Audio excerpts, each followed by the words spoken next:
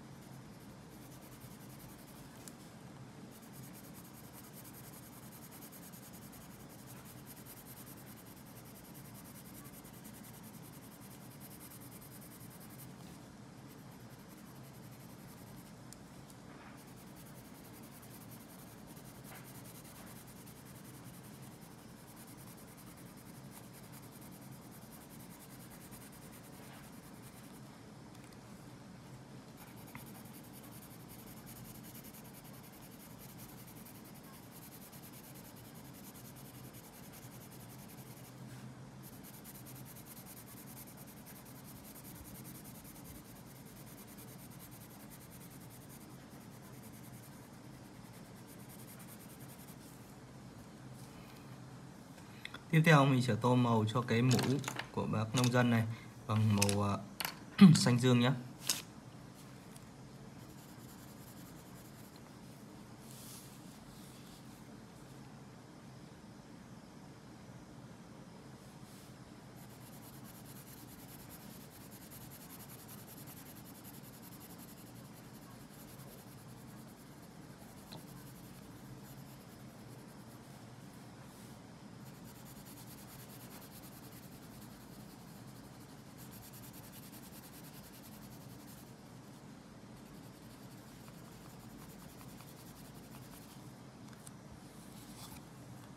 tiếp theo là cái phần à, này tô màu cam cho nó nhé.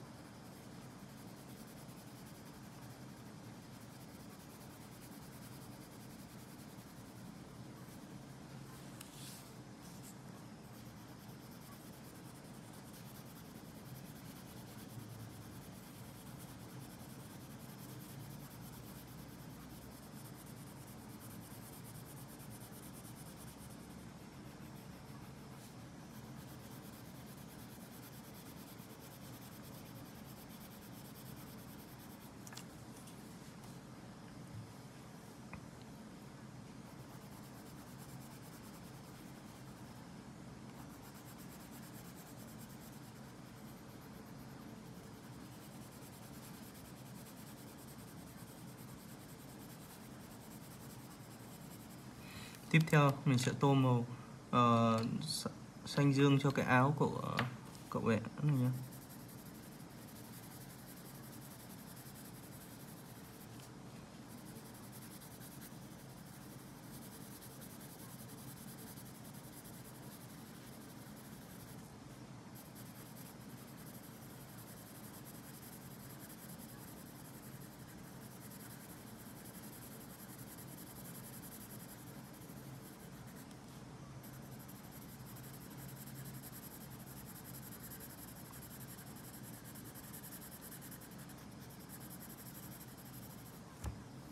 tiếp theo mình sẽ tô màu cam cho cái củ cà rốt này nhé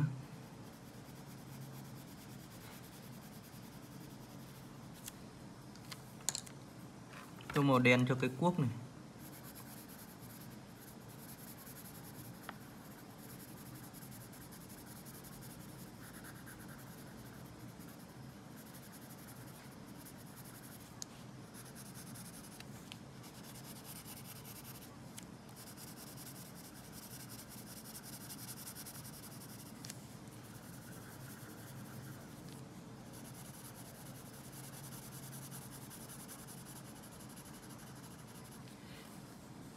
Tiếp theo mình sẽ tô màu cho cái ờ, mảnh đất này bằng màu nâu đất nhé